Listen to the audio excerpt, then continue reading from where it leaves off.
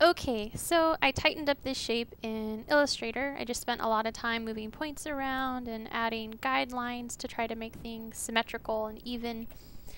And uh, this is what I decided to finish up with in a nice baby blue.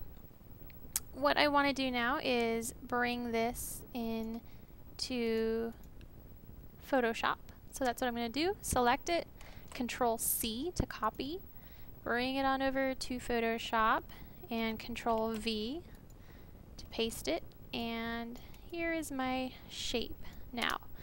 Um, what I'm going to do is uh, play around with the color a little bit. So I'll just go down to um, the effects and I'll first go to blending options. And I'm just going to bring that fill opacity down. It makes it see-through basically. So I can add a cover color overlay. And uh, you know, for what for what I'm doing here, I don't really need to bring the blending, the opacity down to zero, but when you start adding textures and things like that, you want to do that so that um, you can um, use the color overlay with a texture. I'm going to, you know, adjust it and still go with a really, you know, light blue, I think. Just this is a way to show you how to change colors of your shapes. And um, what I can do also is add a stroke and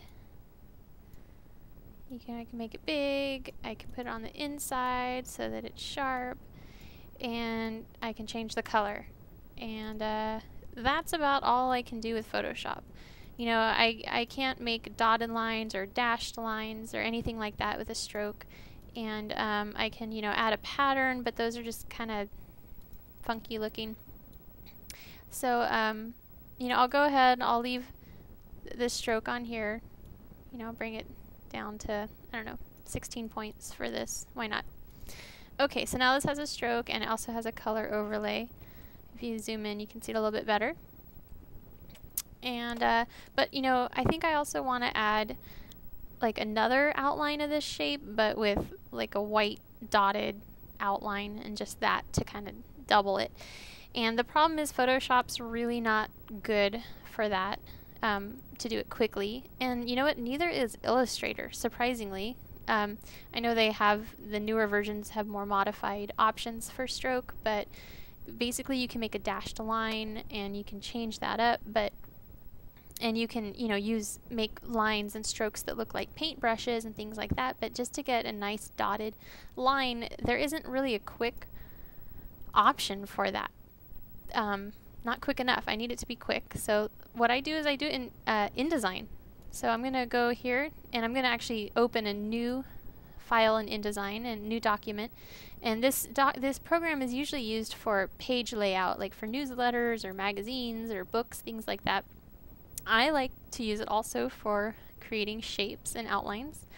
Um, I'm just going to have, just it doesn't matter if it's facing pages or not, you're just going to have one page and um, this is just going to be kind of a like a scrap paper so it doesn't really matter what how big it is I just make it a book normal page size. Hit OK and you have your file come up. And uh, I need to get that shape in here. So I'll go back to Illustrator copy and I might I should have probably still been able to paste it. Uh, it should have been still on my clipboard but come here and paste it and now I have this shape and there's a blue outline around it and um, my preferences are kind of set up so I'm going to hit control H um, to hide that outline. That's just something with InDesign that is a preference that's set up right now. Control H gets rid of that if you have that. And so I have this shape and what I want to do is open the stroke palette which is already open here but you can just go to window and stroke make sure it's selected. And what I can do is I can add a stroke which you can't see right now because if you come over here you can see that the stroke color is the same as the fill so you're not going to be able to see it. So I'm going to just go up here and pick like a white color and uh, I'll put the stroke on the inside. And the beauty is you can go down here to type on the stroke palette and you can just select dots. I'll just do Japanese dots and make it bigger to make the dots bigger and look at that. and you can move the stroke so it's on the inside of the shape, so it's centered on the shape, or so it's outside the shape. This is the easiest way to do it. Just bring it into InDesign, set it up. Um, when I paste it into Photoshop, I don't want it to have that blue because I already have that shape there. So this is just style preference. So I'm just going to get rid, of select the fill, select no fill right there.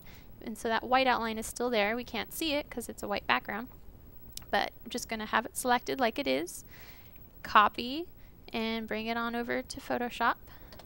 Control V, and there it is with that blue outline.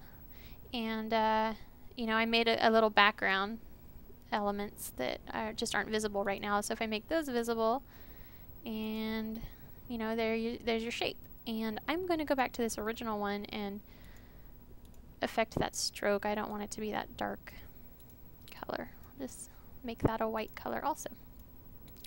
Okay, so now this is the dotted shape with the stroke and this is the background one. So you can see them together and if you have them both selected you can move them around. You can make them big. And that is it. InDesign is a really, really great feature for this. So I really recommend getting in there, playing around with the stroke options. It's just the quickest way to modify strokes. Um, you can do some stuff with Photoshop and Illustrator, but really it's going to take some effort that I don't think is necessary. You should be able to do this with these programs. So here you go. And we'll be back next time to talk about um, adding images into these shapes with clipping masks.